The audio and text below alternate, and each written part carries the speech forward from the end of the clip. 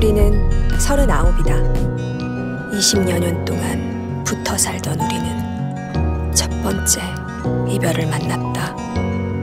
우리의 그때 그 이야기다. This is where the chapter ends.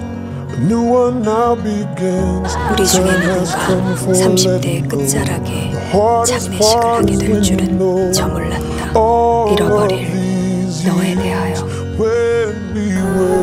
다시 못 올 것에 대하여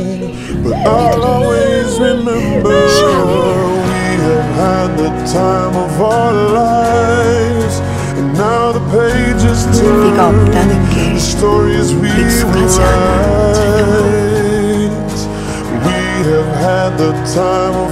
lives. 여러분들 덕분에 더할 나위 없는 나의 인생이었습니다. 고맙습니다. It's hard to walk away from the best of days. But if it has to end, I'm glad you have been my friend in the time of our lives.